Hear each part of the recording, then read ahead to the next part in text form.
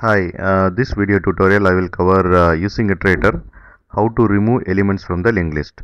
To explain this I have created this sample program. Uh, first I will run this program then I will explain.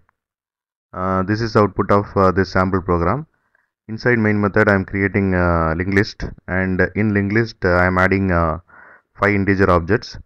Uh, then I am displaying the linked list content. Uh, you can see the linked list output here. Uh, it has uh, 5 elements in it. Uh, then I am calling uh, iterator method of uh, linked list to get the iterator object. And once I get the iterator object using iterator I am moving the cursor in forward direction and uh, removing the element one by one using uh, iterator dot remove method. Okay? And then I am displaying the linked list content.